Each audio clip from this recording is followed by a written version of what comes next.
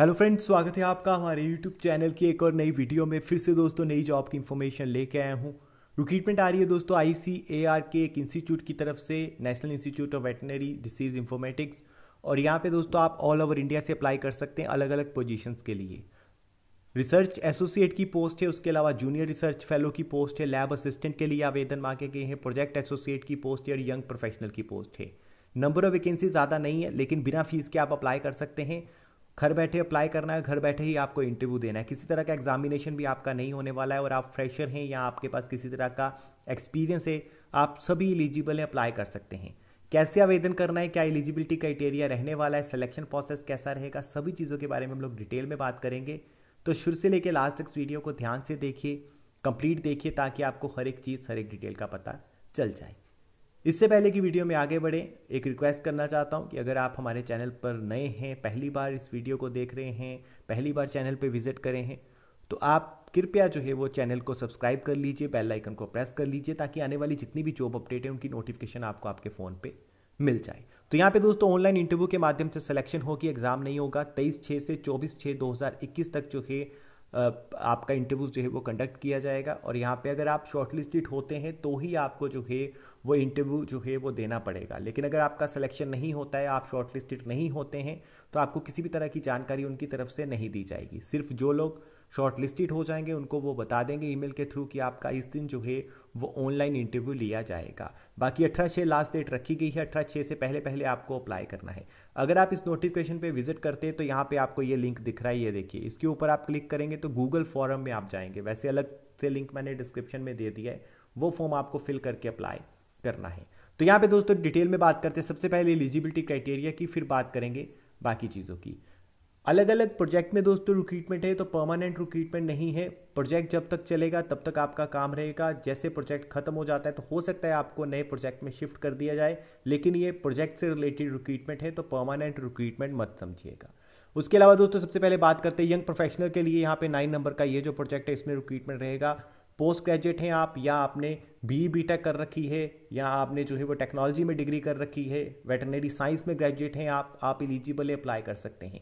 Working experience चाहिए, यहाँ पे किसी भी तरह का जो है, उन्होंने एयर मेंशन नहीं करा है। इसका सीधा मतलब यही है कि आप फ्रेशर हैं तो भी अप्लाई कर सकते हैं। Thirty five thousand per month तक आपको सैलरी मिल जाएगी। एज के बारे में थोड़ी देर में बात करेंगे।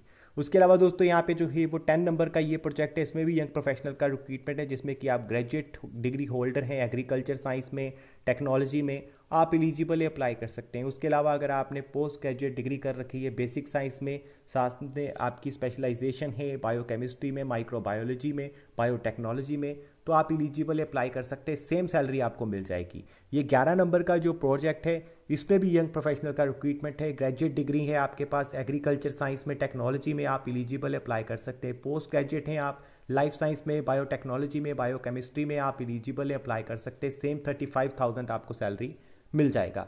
बारह नंबर का प्रोजेक्ट है यंग प्रोफेशनल के लिए। यहाँ पे भी आप ग्रेजुएट हैं तो आप एलिजिबल अप्लाई कर सकते हैं। एग्रीकल्चर साइंस में या टेक्नोलॉजी में। पोस्ट ग्रेजुएट हैं, आप लाइफ साइंस में, बायोटेक्नोलॉजी में, आप एलिजिबल अप्लाई कर सकते हैं। इसके अलावा दोस्तों जो है, ये तेरह नंबर का प्रोजेक्ट यंग प्रोफेशनल का पोस्ट इसमें भी आपने अगर पोस्ट ग्रेजुएट डिग्री कर रखी है लाइफ साइंस में माइक्रोबायोलॉजी में बायोटेक्नोलॉजी में आप एलिजिबल अप्लाई कर सकते हैं। ग्रेजुएट डिग्री है एग्रीकल्चर में साइंस में टेक्नोलॉजी में आप एलिजिबल अप्लाई कर सकते हैं। एक और रिक्रूटमेंट है यंग प्रोफेशनल की, जिसमें कि आपने एमएससी एग्रीकल्चर में कर रखी है।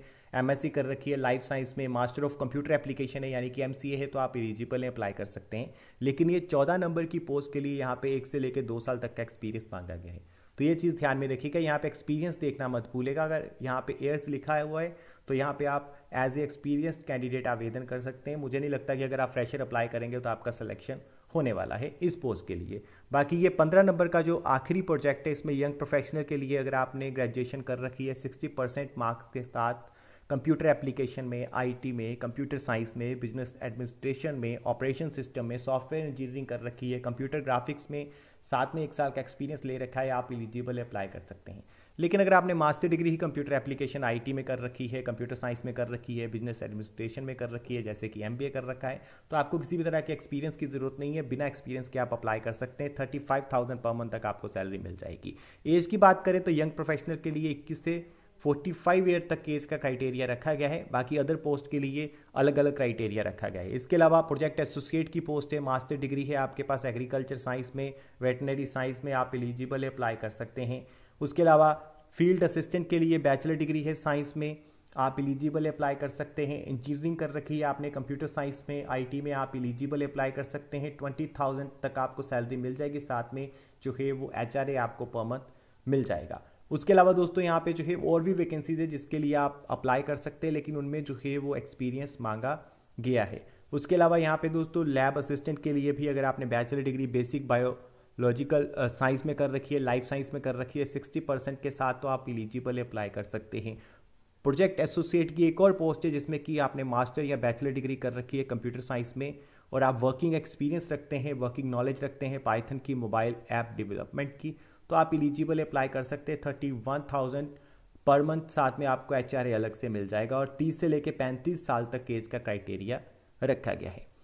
तो ये दोस्तों बात थी कि आपको जो है वो एलिजिबिलिटी क्राइटेरिया क्या है। उसके अलावा एज का क्राइटेरिया भी मैंने आपको बता दिया है सैलरी भी बता दी है। अब बात करते हैं कि अप्लाई कैसे करना है। अप्लाई करने के लिए आपको लिंक मिलेगा हमारी वेबसाइट पर। वेबसाइट का लिंक डिस्क्रिप्शन में दे दिया है। गूगल फॉर्म पे ले जाएगा, वहाँ पे आप लॉगिन कीजिए और अपना फॉर्म जो है उसको फिल करके सबमिट कर दीजिए। बस यही काम आपको करना है। उसके बाद आपको वेट करनी है। अगर आपका सिलेक्शन होता है तो आपको 18 तारीख के बाद जो है वो ईमेल के थ्रू बता दिया जाएगा कि आप शॉर्ट लिस्टेड हुए हैं और आप 23 तारीख या 24 तारीख को सुबह साढ़े दस बजे ये इंटरव्यू जो है वो कंडक्ट कर सकते हैं। आपको सारी चीज़ें बता दी जाएँगी। लेकिन ये सारी चीज़ें जो है आपको बताई जाएँगी। अगर आप शॉर्ट लिस्टेड होते हैं तो अगर शॉर्ट लिस्टेड नहीं होते तो उनकी तरफ़ से जानकारी आपको शायद ना दी जाए। तो लोकेशन आपकी बेंगलुरु में रहेगी तो अगर आप काम करना चाहते हैं प्रोजेक्ट में तो आप इसके लिए आवेदन कर सकते हैं। अठारह छः लास्ट डेट है, इससे पहले पहले आपको आपकी एप्लीकेशन सबमिट कर देनी है। बाकी ज़्यादा जानकारी के लिए आप उनकी वेबसाइट को जो है वो विज़िट कर सकते हैं। तो यही था दोस्तों आज की इस वीडियो में। थैंक यू वेरी मच इस वीडियो को देखने के लिए, और आशा करता हूँ कि आपको वीडियो पसंद आई होगी, समझ आई होगी।